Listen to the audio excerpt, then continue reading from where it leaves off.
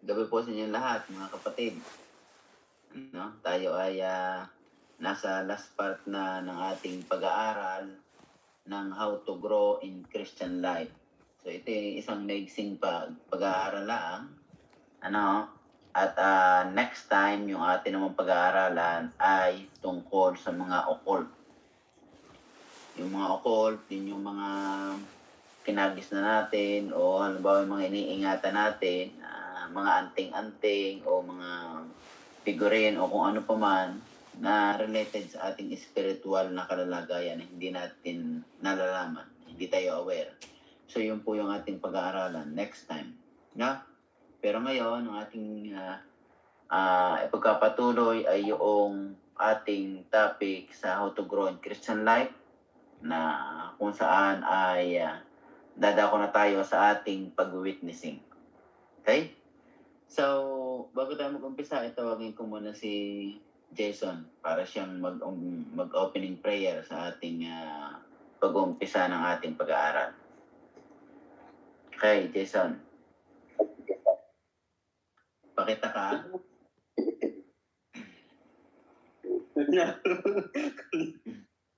Sige. Gabi na lang. Sige. Ah, sige po, po tayo. Praise God, dakilang Diyos at uh, makapangyarihan sa lahat. Ah, maraming salamat po sa gabi ito na kayo po ay nung muling pinagsama-sama huwag po pang mag-aral ng itong banal na salita. At ah, bigyan niyo po sana ng patalinuhan ng ipong lingkod na si Ignacio upang may hatid sa amin ng malinaw po ang uh, iyong banal na salita at buksan niyo rin po sana ang aming mga puso at isipan ng iyong pong mga tagapakinig upang may sa puso namin ang bawat salita na at amin po ay ihatid po. At maunawaan po namin ito. Lord God, dalangin ko po ang kaligtasan ng bawat isa sa amin. Uh, sa pangalan ni Jesus. Amen. So, salamat, salamat po sa inyo lahat, ano, dahil ah, tayo ay ah, lagi nagbibigay ng time para tayo ay mag-aral ng kanyang banal na salita. At tayo ay patuloy na natututo sa ating pangaraw-araw na pamumuhay. Although hindi naman natin natatandaan lahat yung ating mga pinag-aaralan, pero ito po ay ah, ibibigay sa atin ng Panginoon sa time na kailangan natin. Ang mahalaga, napakinggan natin, napag-aralan natin, at sa time na kailangan nating i-recall, niling lang tayo ng panalangin sa Panginoon at i- eh, tuturo niyo sa atin ang dapat nating gawin, ang dapat nating sabihin sa panahon na kanya ibibigay sa atin. No? Kasi mas malaki ang chance na matandaan natin yung ating pinag-aaralan dahil napakinggan natin kaysa sa hindi mo napakinggan o hindi mo nabasa. Walang chance doon na ma-recall mo sapagkat wala kang napakinggan, wala kang nalaman. Ay ito ang ating ginagawa, although ika nga eh, hindi natin malalahat na matatandaan, pero ah, day by day sa ating patuloy na pag-aaral ay ah, ah, magiging madali na lang sa atin ang pag pag-unawa niyan kung patuloy tayong magbabasa at kung patuloy tayong may uh, makikinig ng kanyang banal na salita. So yung last time pinag-aralan natin ay alin ba daw yung hindi natin dapat sambahin. No? So parte yan ng ating pamumuhay kristyano na hindi natin dapat sambahin ang ang pagsamba na hindi natin dapat tanggapin ang pagsamba na iniaalin ng tao o hindi natin kinakailangan sambahin ang nature. Ano ba yung nature? Yung um, nilalang na nasa langit, nasa lupa, nasa ilalim ng lupa, ah, nasa, nasa ilalim ng tubig, nasa himpapawid. So, yun daw, mga nakikita natin, yung nature, na huwag nating gagawa ng image para sambahin. So, binanggit din dyan yung uh, uh, yung angels, no? Huwag daw nating sasambahin ang anghel. So, marami diyang mga ibinilin sa atin na huwag nating gagawin.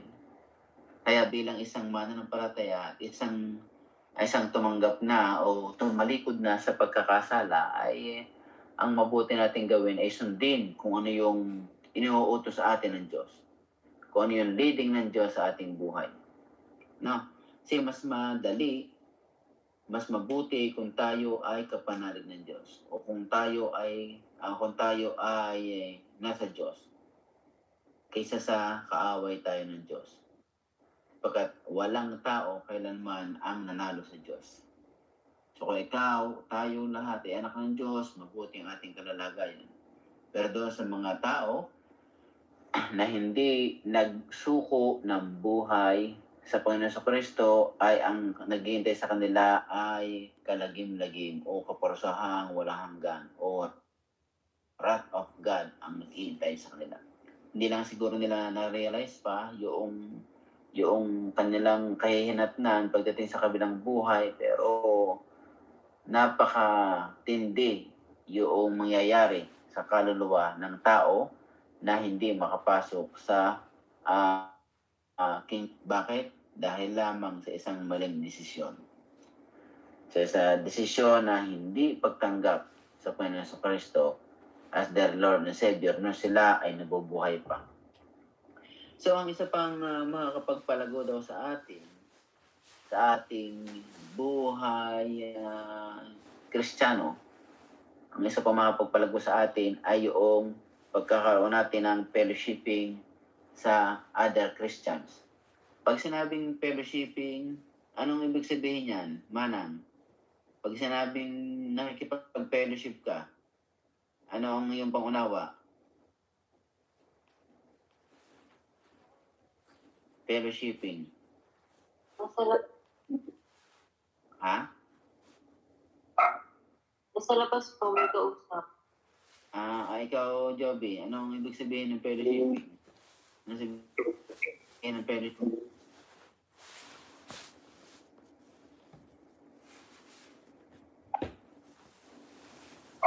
Yung, yung mga kasama ko yung mga ka-churchmate na Mm.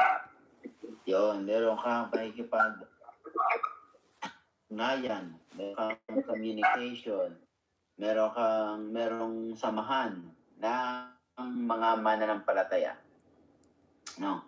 Na kung saan ay once a week o twice a week o kung minsan tatlong beses na pagtitipo ng mga mananampalataya ay yun ay isang malaking bagay para ah, magpalakasan hindi lang sa physical kundi spiritual.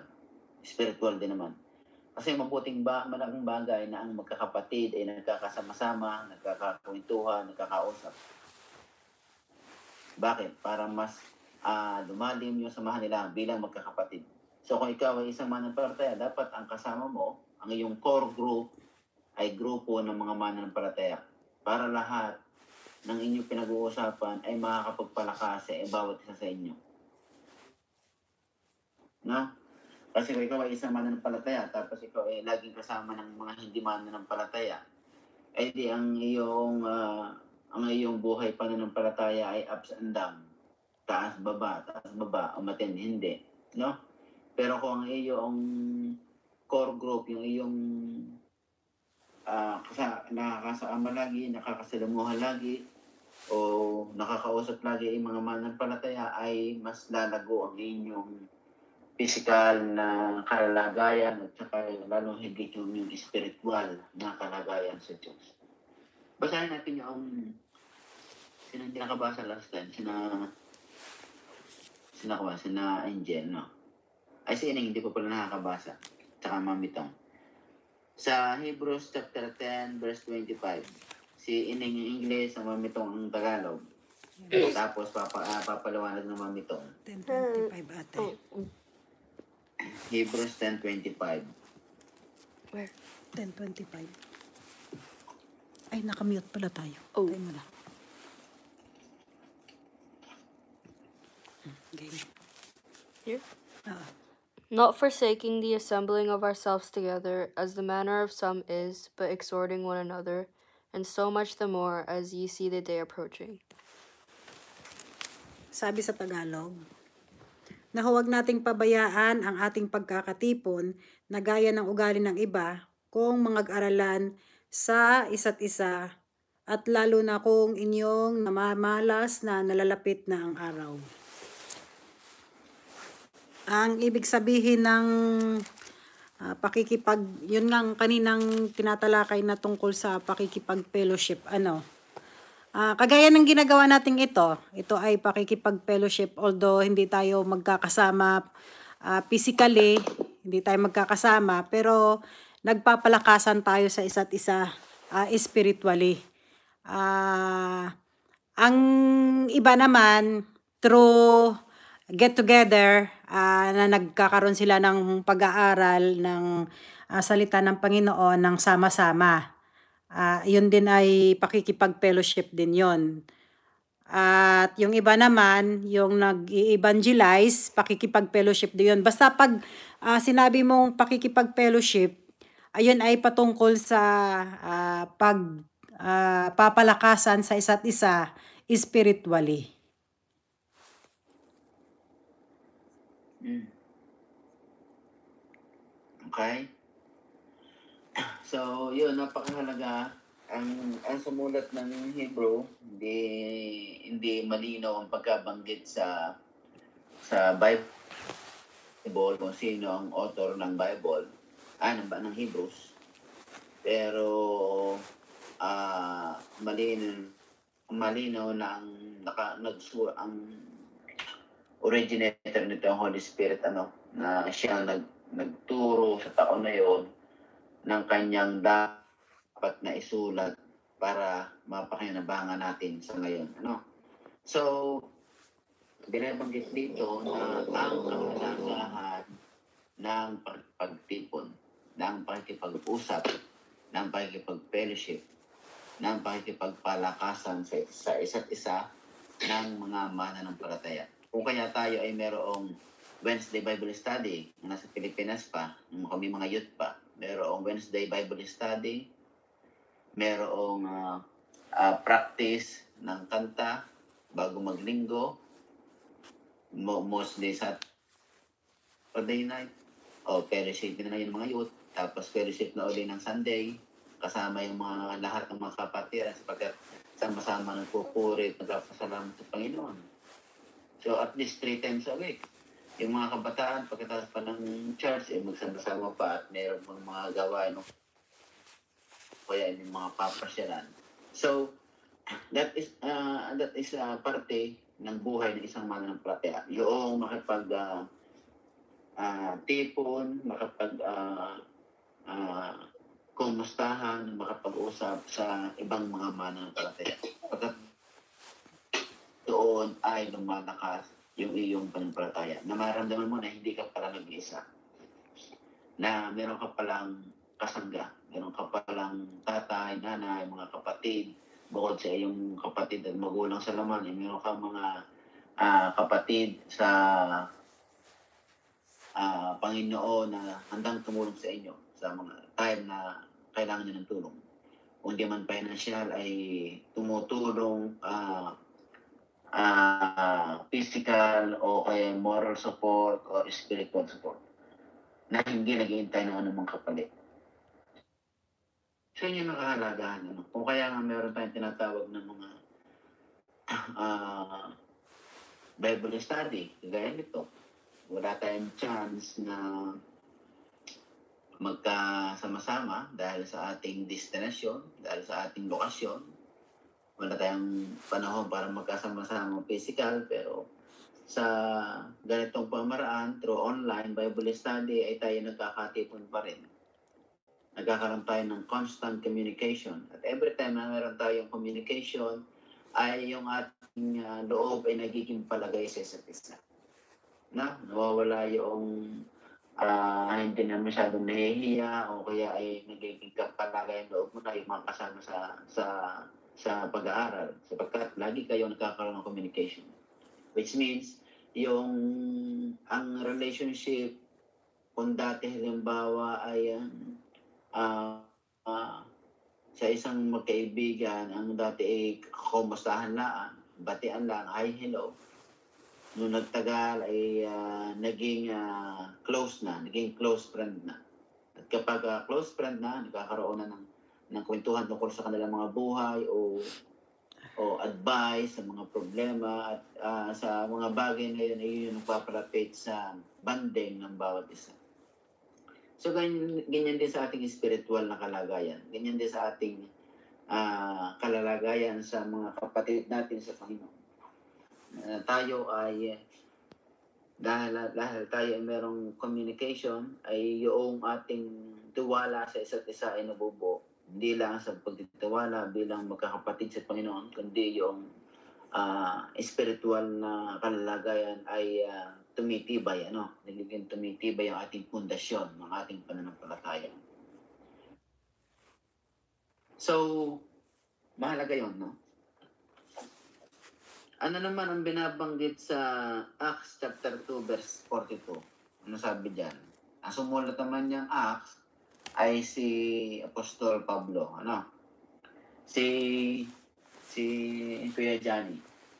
Acts chapter 2 verse 42.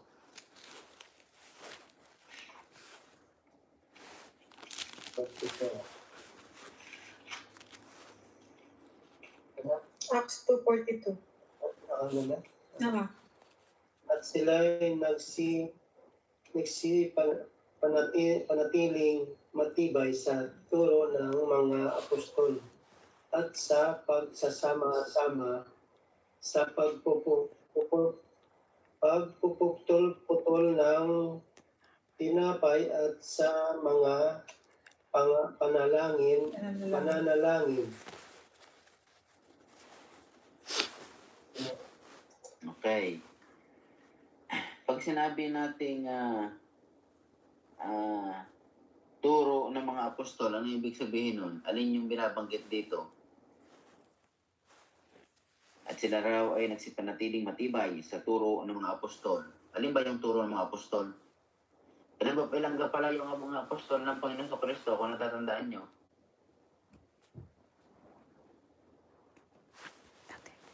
Tsaka kung may natatandaan kayong pangalan. Well, O yun, 12 daw. May natatandaan kayo ang mga pangalan. Santiago, Hmm. Pedro, Pedro, Hmm, Pedro. Judas, Judas. si Simeon, Simeon. Santiago, Santiago, Si Simon Pedro. is Ano is? Isa. Pa? Santiago. Sabi na. Sabi na lang. Oo. Oh, mag mag-contribute na mo ba? Ang Ay, na naman. mo. magsabi na ina. Valedictory. Ay, mga mata pa. Eh, lang na sa ano eh. Uy, ano yun? Chopper. Nasa chopper. Oh, sino pa? Sino pa? May, may apat na. Yun. Si Juan Ay, apostol. Apostol din. Hmm, mga alagad. Sakay sagot. Patuloy. Sakay sagot. Sakasi. Bakit na eh, si Juan, si Pedro, si Santiago, si Judas, Patuloy. Sakasi. Hindi ka narinig ko yung teacher. Bartolome daw. Sabi Bartolome. Natin. na? Patuloy. Bartolome, lima. Ah, sino pa? Eric, sige pa. Si Frank, hindi kasama si Frank. Ah, ayan. Sige. Sino? Sino? Si Andres. Si Androyan. Manugat mo. Daw? Ah, Si Andres. anim na, meron pang anim na natitira. Sige. Sige pa na eh. Ikaw pa na eh. Nasabi na si James. eh. Kaya tatandaan ka. Ano pa? Marami. San Mateo. Ah, yan. Mateo. Mateo. Si Mateo. Meron ka doon Mateo? Wala, hindi kasali si Mateo. Wala, wala ding Mateo. Kasama si Mateo, ano? Sino pa? Peter. Ano, banggit na si Peter. Jack. Nasa Acts. Acts 1.13. Yan. Ha? Nasa Acts 1.13. Yan. Huwag niyo, huwag niyo muna tingnan. Huwag niyo tingnan.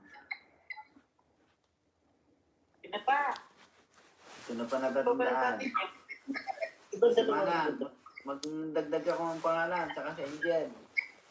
Si Felipe po. Sina? Si Thomas. Si Thomas daw. Si John, si Thomas. Oo. si Felipe, si Tomas. Sino ba na? Si Papa kilala. Si, si Tadeo. Si Tadeo. Si Mateo. Bartolomeo. Ay, kasama pala si Mateo. Kasama pala si Mateo.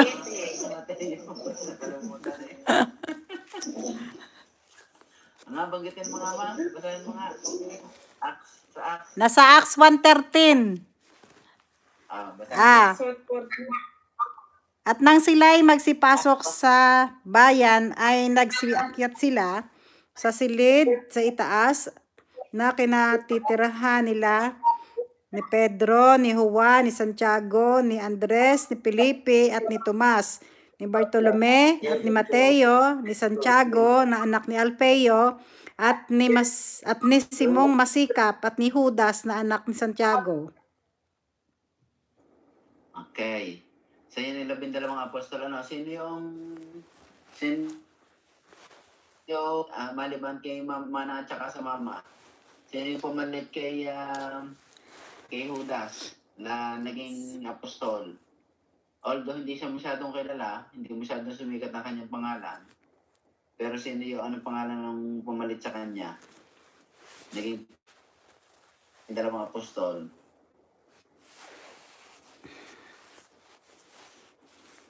Tanda niya?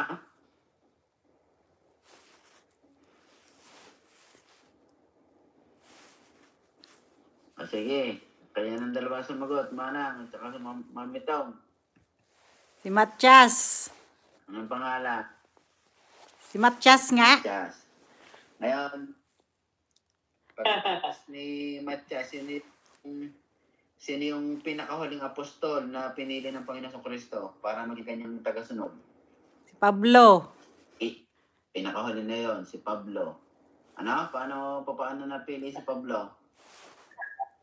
Di, ang kuwang kasi, ang requirement kasi sa pagiging apostol ay dapat ay merong ah, ah, nakita niya ang Panginoon. Nagkaroon sila ng ah, ng content. ah, communication. Nagkaroon sila ng panahon na na inimbitahan siya o siya ipinili ng Diyos. Paano pinili si Pablo, ma? Holy Spirit. Ano yan? Sino si Jobe? Paano Jobe pinili si Pablo?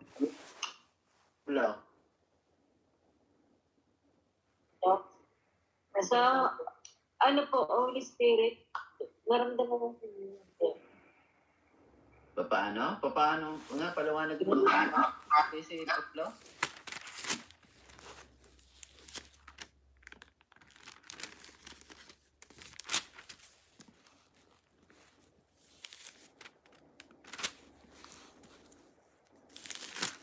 Paano? Mama na naman na daw. Pisit na ba, no?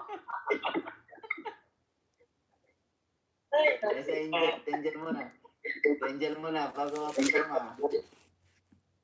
Paano siya pinili? Paano naging panlabing pang ak pang labing tatlong apostol si Apostol Pablo?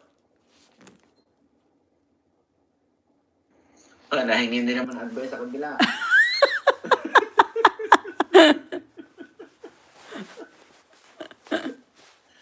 Eh, sagot niya, baka mamimunahan pa kayo ng inay. Baka daw po. Si, si Pablo po yung ano, di ba, yung marami po siyang na-share sa ano. Ay. si Papa mo daw muna. Liwanag, Mr. Jan Tumagani. Para ng Tumagahan Clan. Kapag daw. Wala na, eh, parang hindi na humingi na advice. Wala na pa si Angel eh. Bakit? Si ate na lang po. si ate na lang. Ang ina, ang ina, tanda mo yun. Ay, kung paano naging apostol si Pablo?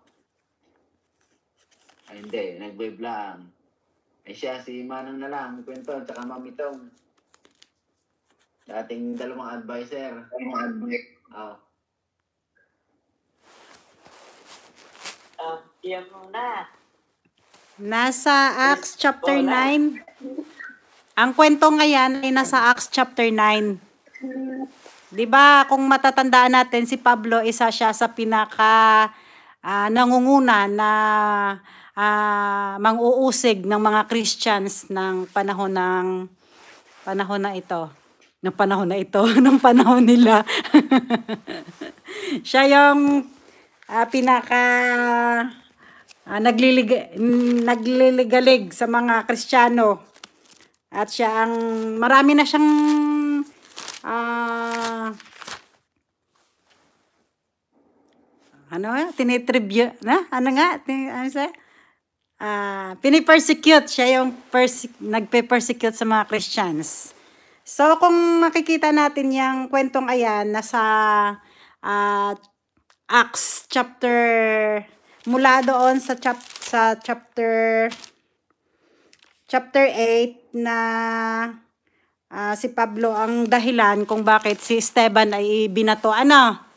Dahil si Esteban ay ah, puspos din ng espiritu ng ating Panginoon. Kaya si Pablo ang dahilan na si Esteban ay pina, pinagbabato. So kung makikita natin doon yung chapter 9 dito na nagsimula ang kwento na kung paano ah, kinausap ng Panginoon si Pablo. Ah, ang kwentong ito ay nung naglalakad, naglalakad, ano? na, basta nasa chapter 9 ha, nasa chapter 9, kung, kung babalikan natin, babasahin natin yung chapter 9 para makita natin yung kwento.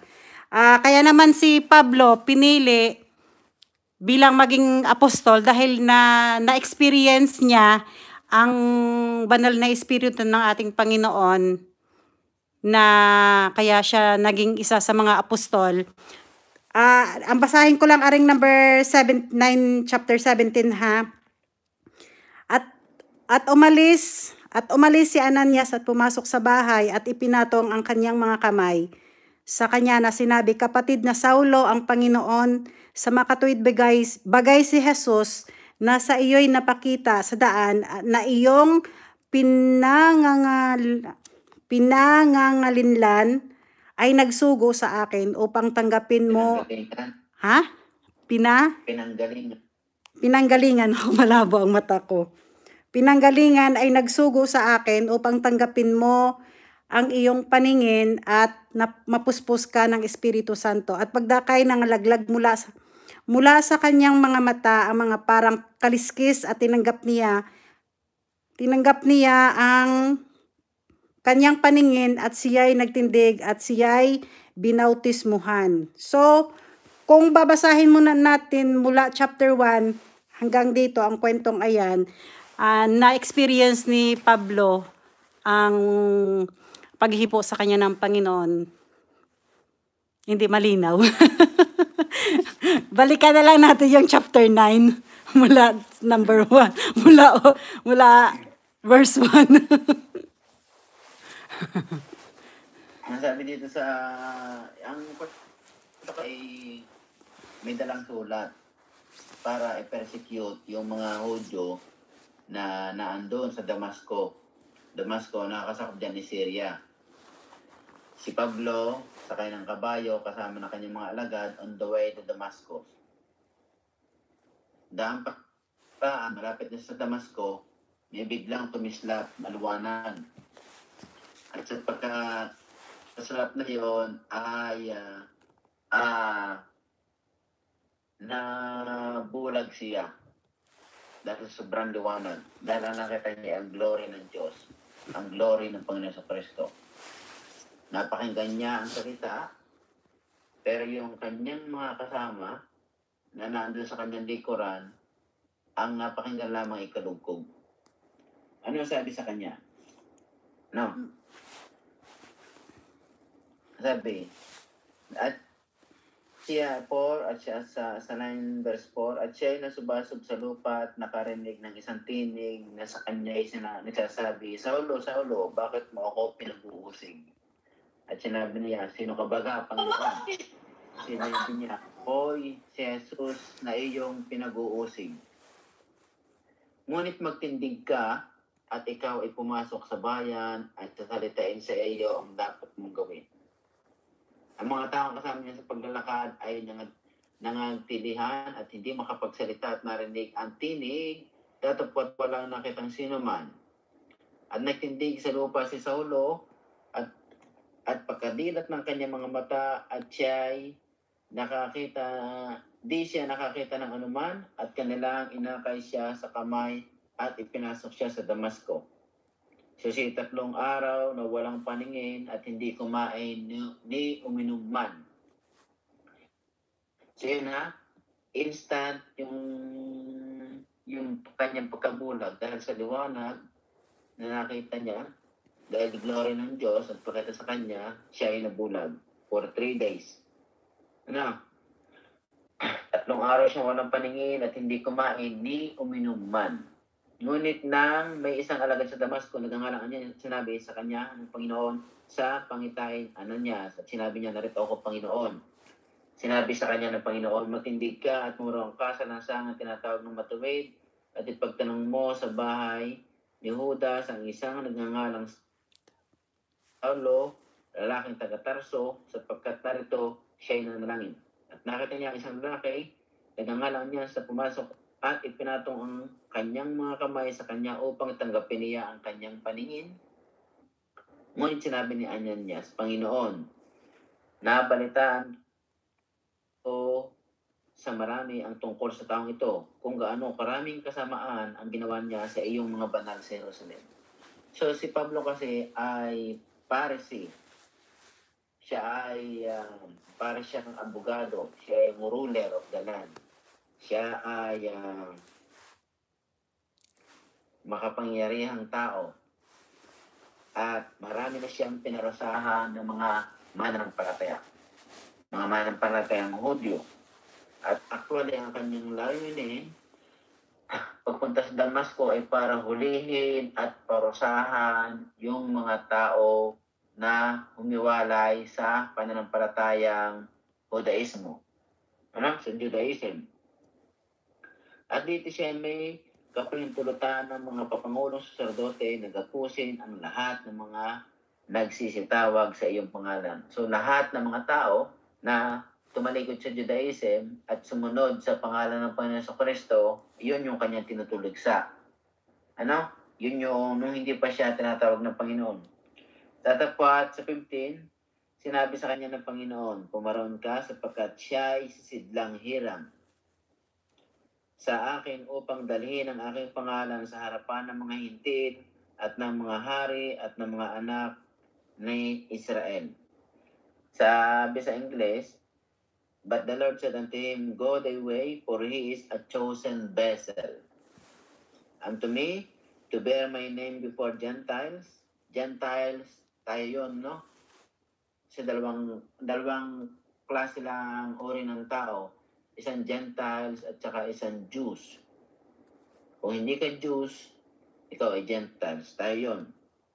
So, si Pablo ang nagdala ng mabuting balita ng Panginoon on sa hintil, mga hintil tayo, sa mga hari, kung kaya may mga nations na naging Christian nations, at sa mga anak ni Israel.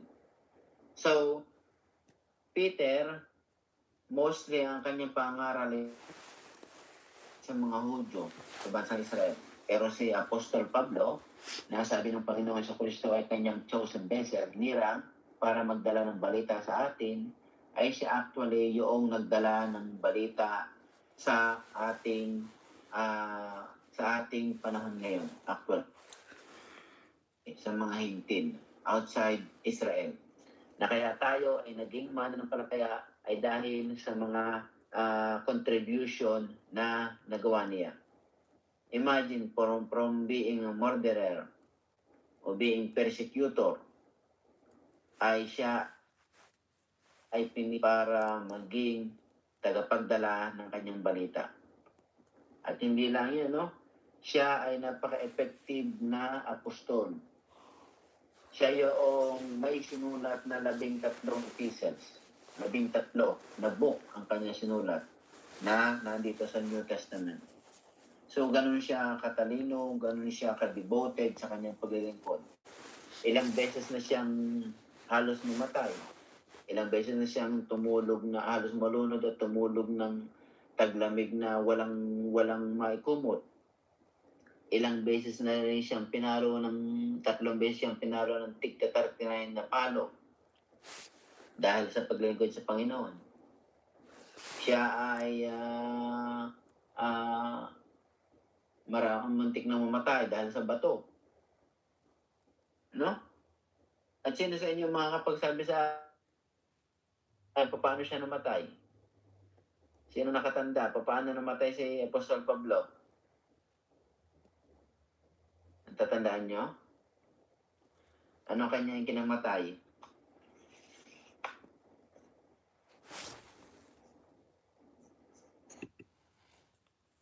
Pinugutan ng ulo. Ano?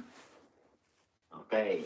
Ano siya, na- siya ay pinugutan ng ulo doon sa Roma. Na? So, ang kanyang sakripisyo ay napakalaki, napakatindi. On what purpose? Para ipahatid sa atin ang kanyang mabuting balita. Ang mabuting balita ng Panginoon.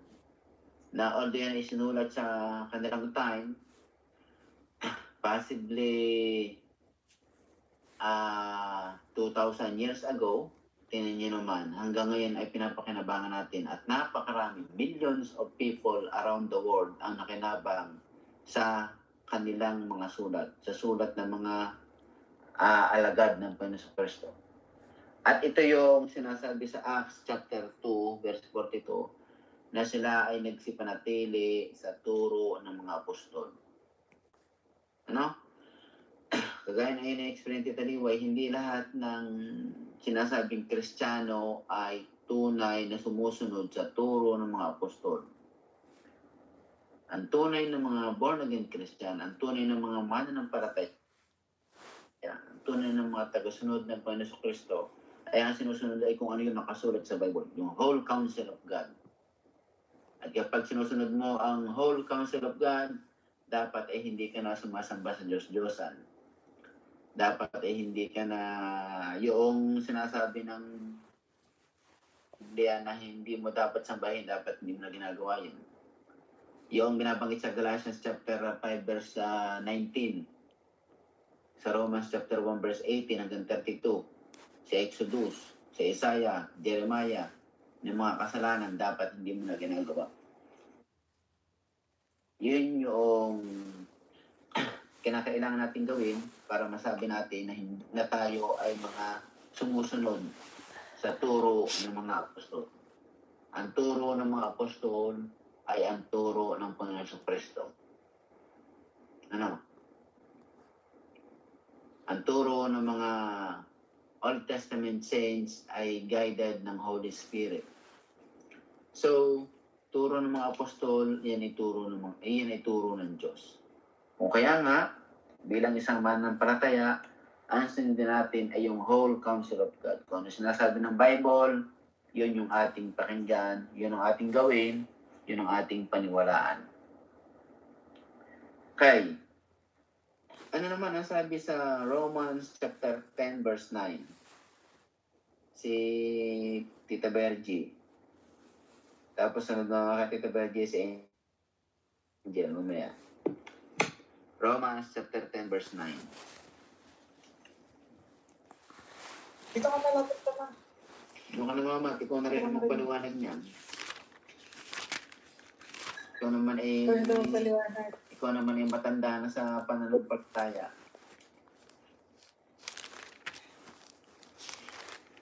Ito ka malapit ka.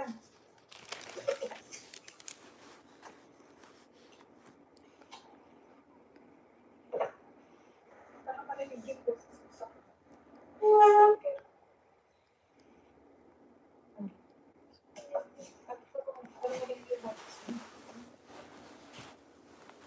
Romans 10, Verse 9. sapagkat kung i- ipahayag mo ng iyong bibig si Jesus na Panginoon at sasampalataya ka sa iyong puso na binuhay, binuhay siyang magmuli ng Diyos sa mga patay ay naliligtas ka.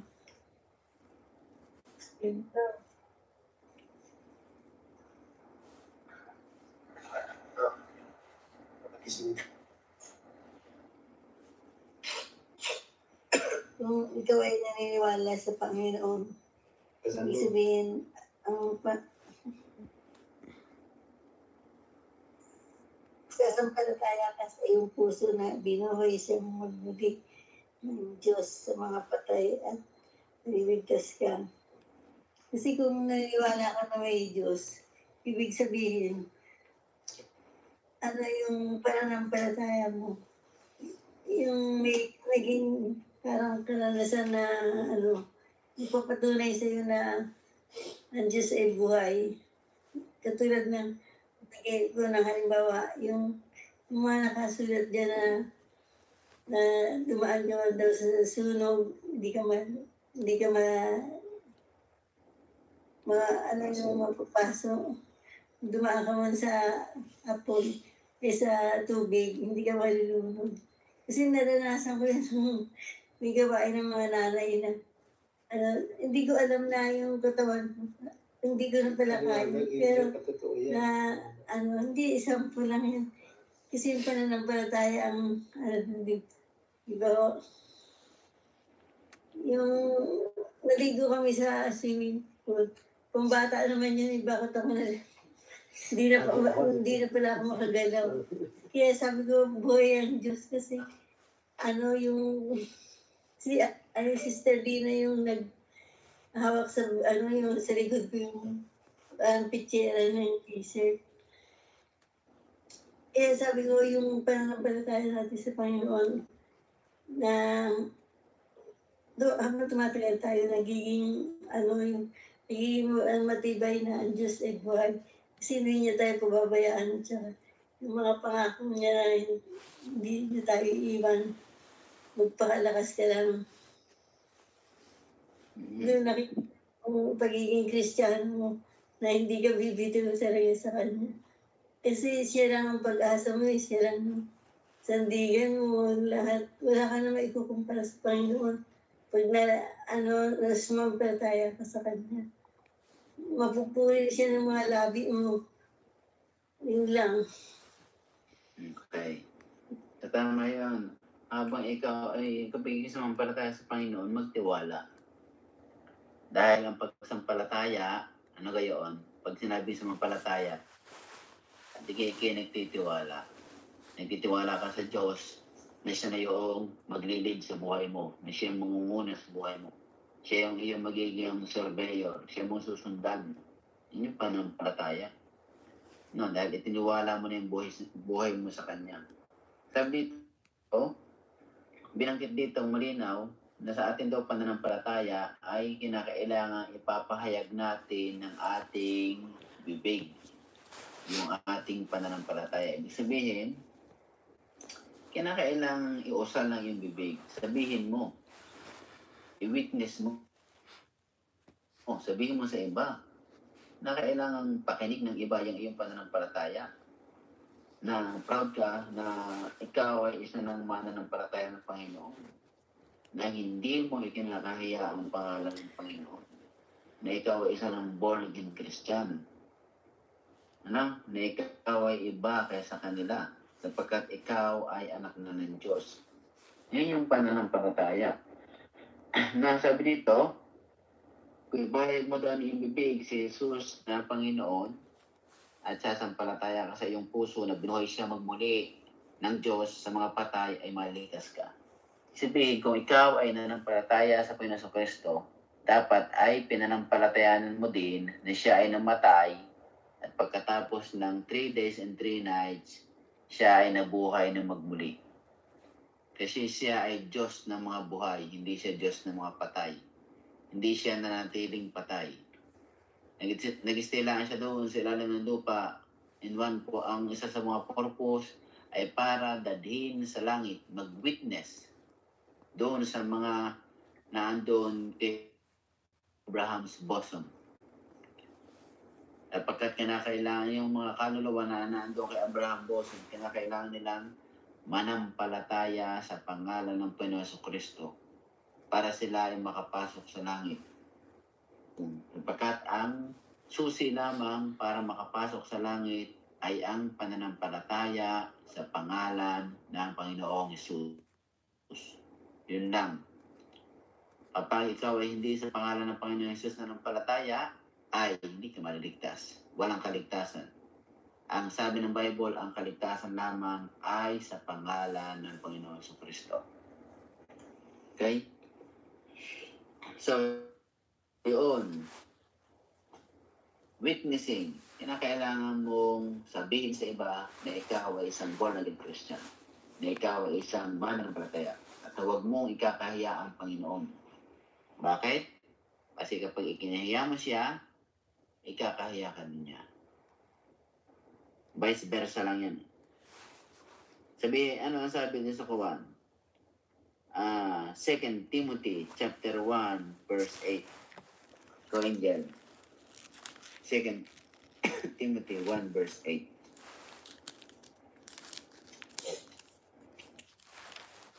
Second Timothy chapter 1 verse 8.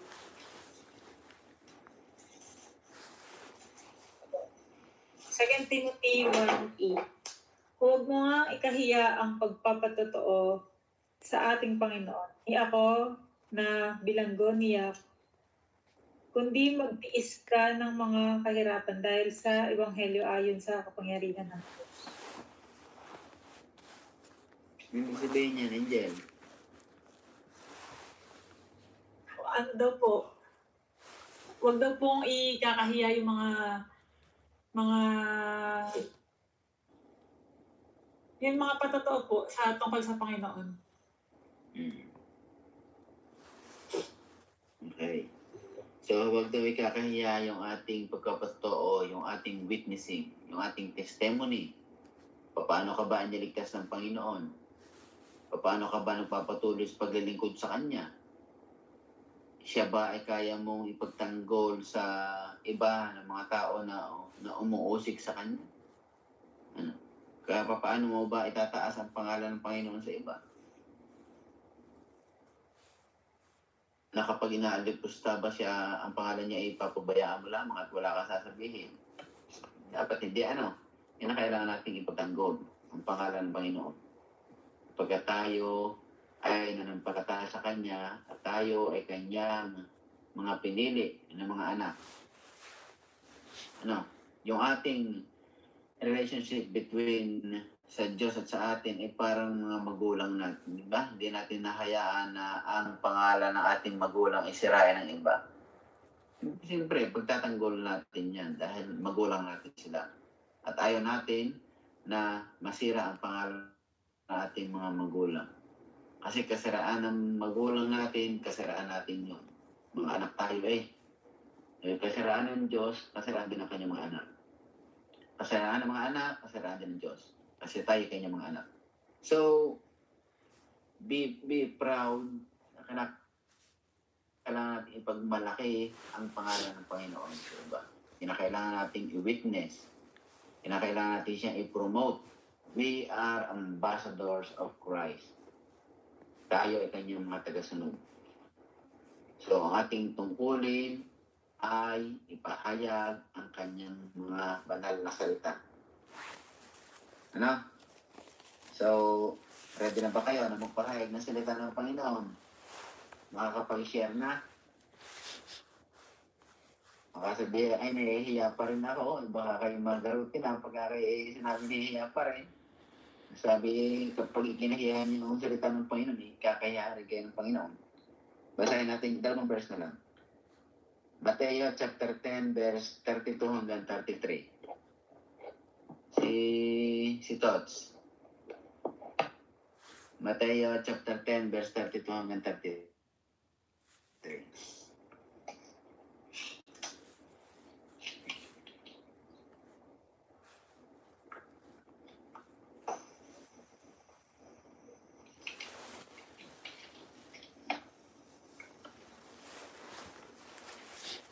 Mateo 10, 32 to 33.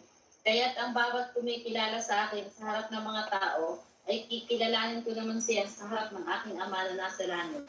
Datapwat sino mang sa akin magkaila sa harap ng mga tao, ay kakaila ko naman siya sa harap ng aking ama na nasa langit.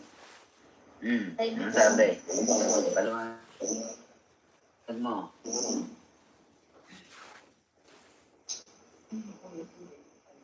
Din nga, kung, kung ating kikilalanin ng Panginoon, ay ano, kikilalanin din niya tayo. Pero,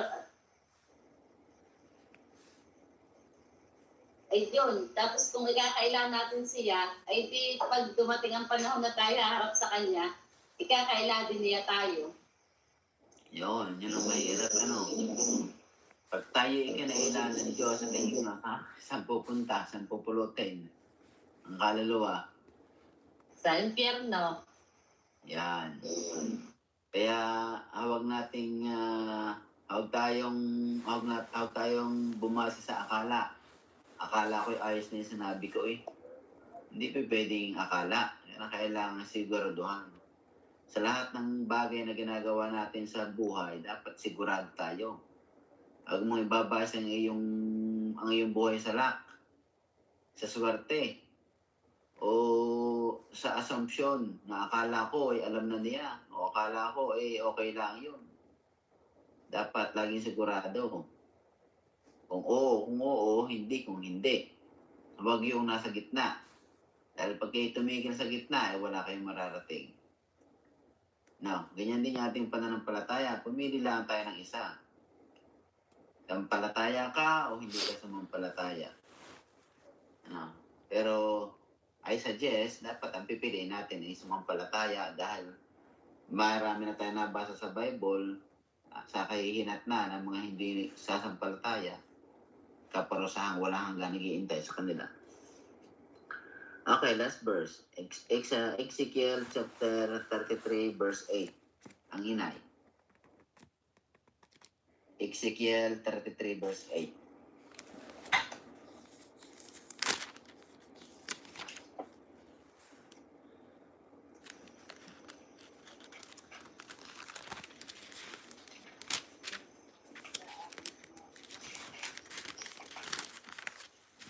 Pagkat aking sinabi sa masama o sa masamang tao, ikaw ay walang pagsal, pagsalang na mamatay at ikaw ay hindi nagsalita.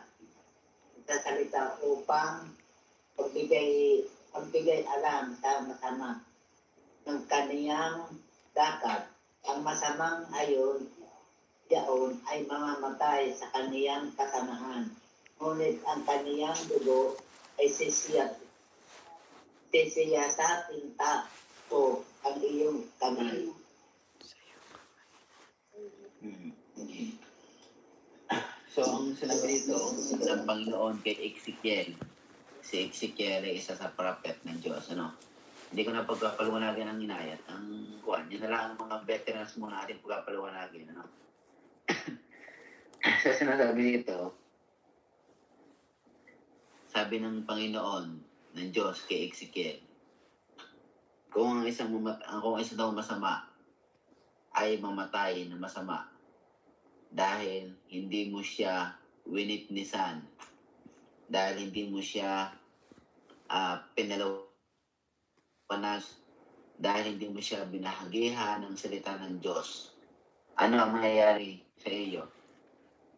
Ang Sabi dito kay Ezekiel, kapag hindi mo siya binahagihan kapag hindi mo siya winitnessan o tinuruan na ng salita ng Diyos at siya ay namatay na masama, ang kanyang dugo ay uusisain ko sa iyong kamay. Diba? No? Sabi yan, kapag namatay daw yung tao na yon, ang kanyang dugo ay sisiyasatin ko sa iyong kamay. Sabihin, sa iyo, eh, ikaw ang kukumprontahin ng Diyos.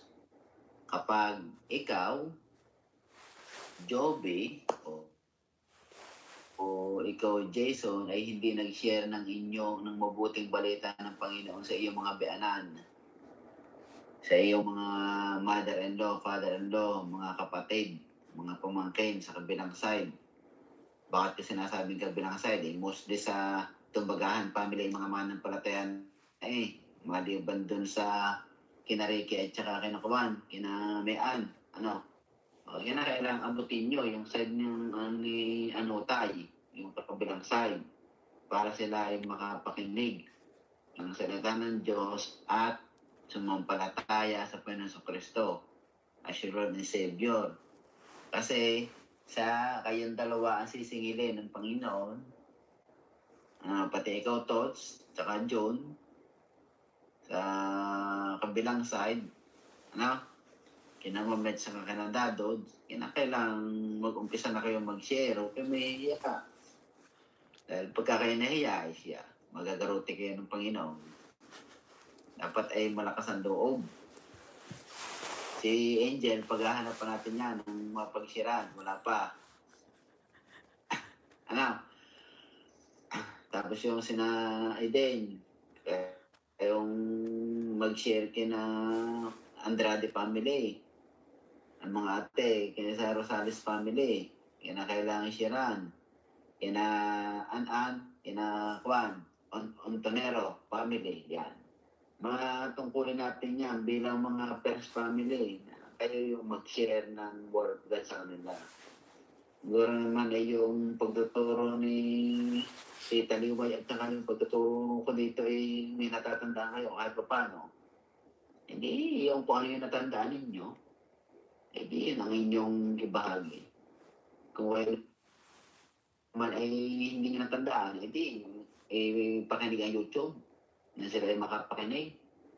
Kanya nga lang, eh, dapat eh, inyong i-interviewin kung na naintindihan nyo kanilang napakinggan o kung talagang nakinig sila, ano, para sa inyong mga questions, eh, alam nyo na sila ay nakinig.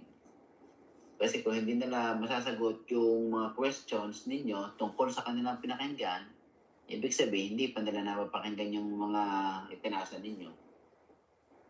Kaya dapat, kung kayo magpapasa ng link, ipapanoorin nyo rin kung ano yung inyo ipinasa. Baka mamaya eh, hindi kayo makaisip na itatanong na eh, kaya tayo ay nagbibideo para kapag kinakailangan nating balikan yung ating pinag-aralan ay mapapakinggan ulit natin, marireview natin. Ano, meron kayong question? O dagdag, o mana, at saka mamitong, ating mga kuan, advisors, na magdagdag kaya tungkol sa how to grow in Christian life. Dahil tapos na ito eh. Ang next topic natin ay uh, occult. Yun ang ating pag-aaralan. Mga occult. Ano ba yung relasyon ng occult sa ating buhay? Ano? Mamanan, dagdag ka.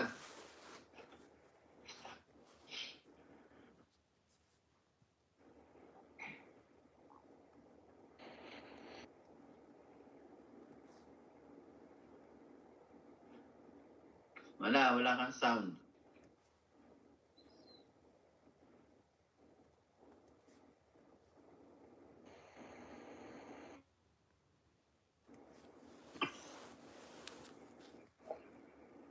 Eh, yun na naman yung napapaliw- napapaliwanag ko naman eh. Ayos na yun. ang kailangan lang natin na unawain natin ang salita ng Diyos at hindi lamang natin napakinggan, kundi ito po ay i-apply sa ating buhay. Kasi hindi naman sapat lang tayo nakinig, kailangan ng application. Kahit sa anumang bagay, maging po sa ating realidad ng buhay, katulad ng tayo nag-aaral, yung pag-aaral ay kailangan i-apply. Ito din sa salita ng Diyos. Kasi hindi naging mabisa o hindi maging ah maging ano tawag na pag ang mga napakinggan na natin at hindi natin gina, nasagawa. Kailangan gawin natin. Bagaman sa umpisa na naman ang mahirap eh. Katulad ng pag-share. Siyempre, mga sa umpisa, mahiya ka. Pero kung nangungusap sa iyo ang Diyos, i-share natin. Kasi ang kaligtasan kasi nasa ah sa salita ng Diyos. Pag hindi natin katulad niyan, sabi mo kanina, sa pagkakot bisiklet, talagang minsan sa buhay, minsan sa buhay sa akin may mga minsan sa buhay akin may mga sa akin may mga kamag-anak tayo na namatay na hindi pala natin na-sharean. Naging karoon tayo ng ano doon sa ating puso, ay sayang, hindi ko siya na-sharean. Kasi nahiya tayo. Eh kung na-sharean mo siya, kahit na namatay siya, hindi sisingilin, hindi sisingilin ng Diyos kanyang gagawa sa iyong kamay. Kaya huwag tayo mahiya. Pagsalita naman ng Diyos, eh, eh, alam niya saan, sa umpisa lang yan. Pero pag masanay na rin tayo mag-share, hindi naman kailangan na tayo magaling sa Biblia, eh. Kung ano lang ating naunawaan, kung ano lang ating kayang i-share, lang gawin natin. Dahil hindi naman tayo hanapan ng Diyos. Kasi hindi natin kaya. Yan lang. Ay, isa pa. Lalo na yung ang langit at ang impyerno. So, ipapaliwanag natin kung anong tanyanap na ng tao na hindi na nakakilala sa Panginoon. Sa impyerno. O ng tao na nakakilala sa Panginoon. Sa langit siya pupunta. Yun man mahalagang ibig sa kanila. Eh. Ipapakilala mo kung sino si Kristo sa kanilang buhay. Yun lang. Yun lang aking nag-share. Hmm, mamitong.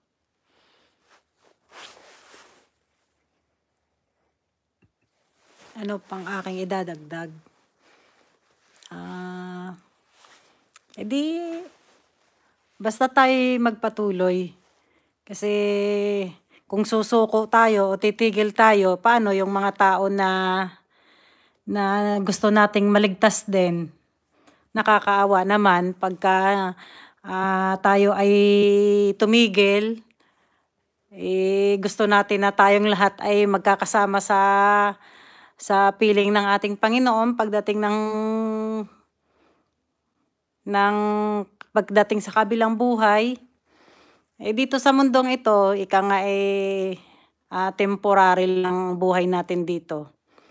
Ah, ang bigyan natin ng focus ay yung buhay natin sa kabila na tayo ay makasama ng ating Panginoon. Although tayo naman eh hindi tayo perfect na tao, tayo nagkakasala din, nakakagawa pa rin naman tayo ng kasalanan, pero tayo ay magpasalamat sa Panginoon dahil siya ang Diyos na nagpapatawad sa lahat ng ating mga kasalanan kung tayo ay ah, humingi lang sa Panginoon ng pagpapatawad. Magpatuloy lang tayo na tayo ay ah, maglingkod sa Panginoon at ah, ang ating pananampalataya ay ibigay natin sa Diyos. Pagtitiwala natin na ah, yun, na tayo ay lumago sa ating paglilingkod sa Panginoon. Okay, amen. So sa next week, ang ating dalawang mga advisory siya muna natin pauunahin ang pagtuturo sa kawan sa okol. Dadagdag na lang ako para masanay kayong dalawa. Ano? Ating, ang ating topic ay yung okol. Papasa ko yung picture. Di kayo muna mag-umpisa kayong dalawa. Manang muna siyang matanda. Tapos ang mamitong. Magdadagdag na lang ako. Ano? Sige. Ang inay, baka may gusto sabihin. Tsaka si Tita Virgie, yung mga matatanda dyan. Nanay Pere, tsaka tatay. At yung mga elders. Okay, dyan eh, hindi pa kasama sa elders yun eh. Mga matatanda lang. Ah, parang wala. Kaya sige, si tatawagan na natin si Ining. At si Ining daw ang magko-closing prayer. Closing prayer ka. Ika.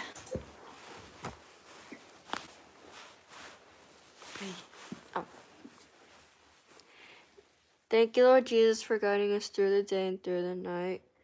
Uh, please bless us for whatever we do.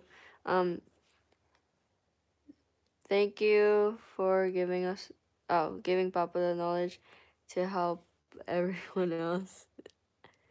Thank you for all the blessings that you've given to us, and please give us good health, strength, knowledge, and wisdom.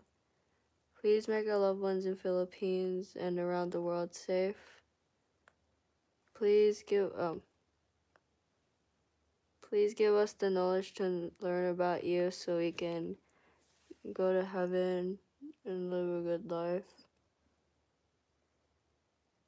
Please, uh, in Jesus' name we pray, amen.